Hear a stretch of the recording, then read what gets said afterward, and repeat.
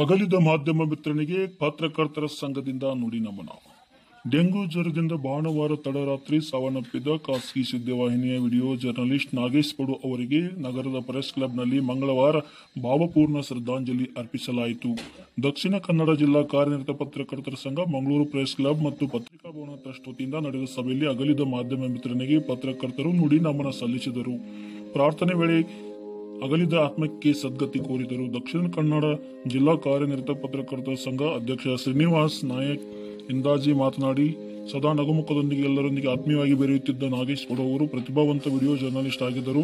ಪರೋಪಕಾರಿ ಮನೋಭಾವ ಇನ್ನೊಬ್ಬರ ಆರೋಗ್ಯದ ಬಗ್ಗೆ ಕಾಳಜಿ ವಹಿಸುತ್ತಿದ್ದ ಅವರು ಅಕಾಲಿಕ ಮೃತಪಟ್ಟಿರುವುದು ಎಲ್ಲರಿಗೂ ನೋವು ತಂದಿದೆ ಎಂದರು.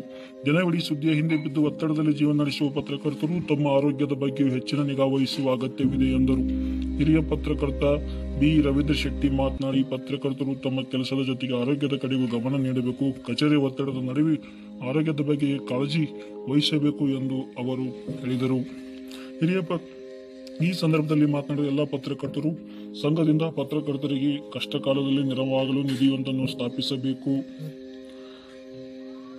ಅಲ್ಲದೆ, ಮೀನುಗಾರಿಕೆ ಇಲಾಖೆ ನಿವೃತ್ತ ಅಧಿಕಾರಿ ಸುರೇಶ್ ಕುಮಾರ್ ವಿಜಯ ಬ್ಯಾಂಕ್ನ ನಿವೃತ್ತ ನಿರುದ್ಯೋಗಿ ರವಿ ಈ ಸಂದರ್ಭದಲ್ಲಿ ಉಪಸ್ಥಿತರಿದ್ದರು.